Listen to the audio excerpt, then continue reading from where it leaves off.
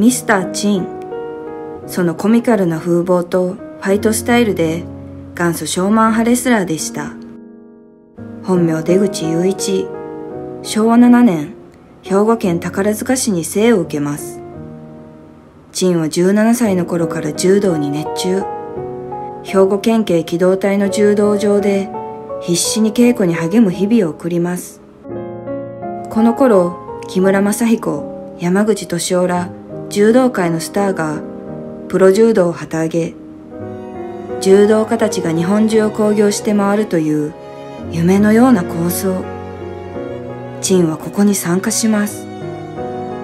力道山が日本にプロレスを根付かせるずっと前にチンは興行というものを身をもって知ることになります。しかし、頼みの綱プロ柔道はわずか5ヶ月で崩壊。その後、山口敏夫が大阪で立ち上げた団体、全日本プロレス協会へ共に参加することになります。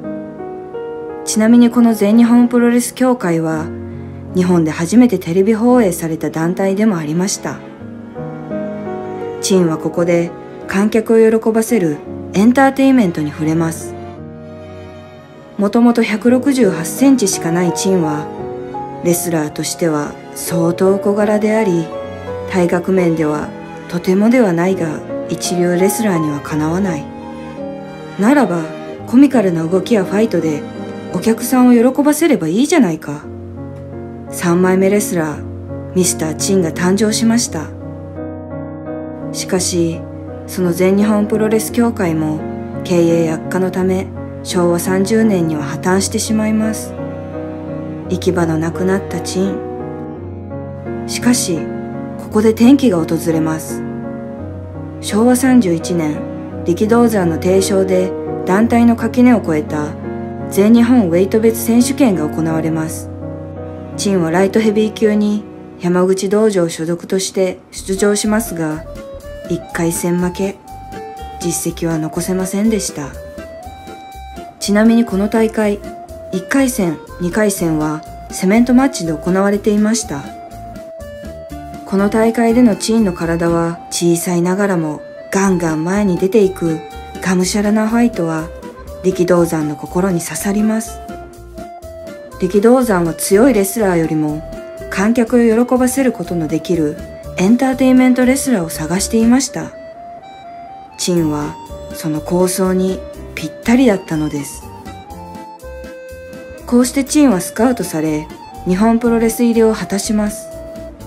大陸気質を持つ力道山は、小スポーツの重要性を理解していました。プロとはエンターテインメントでなければいけない。そんな信念を持っていました。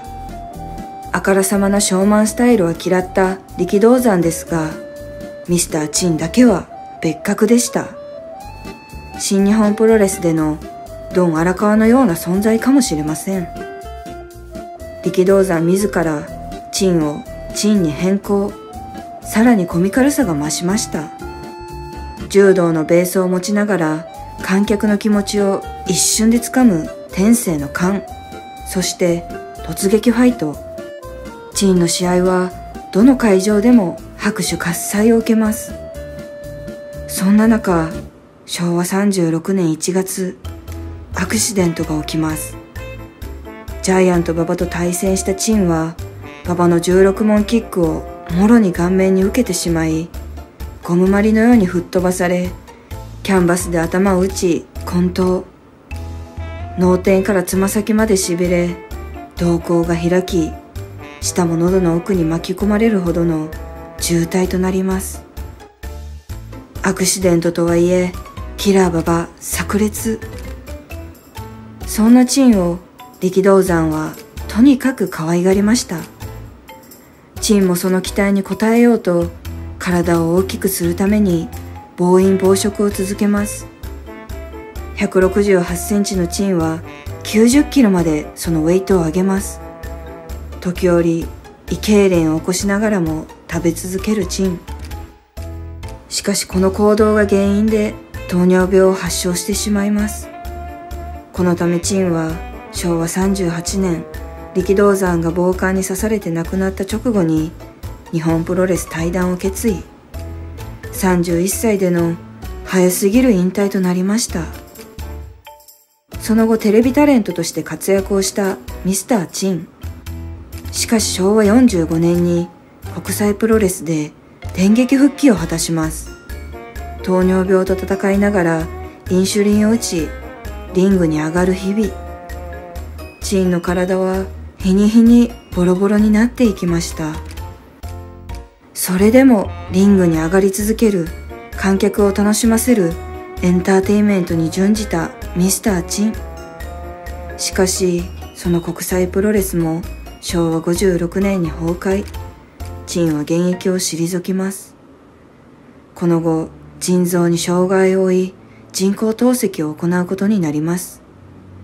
第一級身体障害者になってしまったミスター・チン。しかしそれでもチンのリングに上がりたいという情熱がなくなることはありませんでした。体は限界にもかかわらずチンはトレーニングを続けます。そんな中平成5年チンにオファーが来ます。当時飛ぶ鳥を落とす勢いであった大仁田敦の FMW から参戦依頼が来たのです。当時のチンは60歳。日本人最年長、最古参レスラーとなっていました。7月16日、久々にリングに上がったチンは、いきなりゴム攻撃や下駄攻撃を繰り出します。当時のプロレスでも滅多に見られなくなっていた技は観客に大受けそして FMW にレギュラー参戦することになります。しかし、チンの体はとっくに限界を超えていました。糖尿病により左目の視力を失い、片目だけで戦い続けるチン。それでもお客さんの笑顔を見ることは最上の幸せでした。史上のエンターテイナー。そして自ら電流爆破のリングに上がり、見事な爆破っぷりも見せつけます。チンは最後の輝きを放ったのです。平成7年6月、チンは慢性腎不全で亡くなりました。人々を楽しませるために懸命に生き抜き、そしてその命を削って戦い続けた男でした。去年62歳。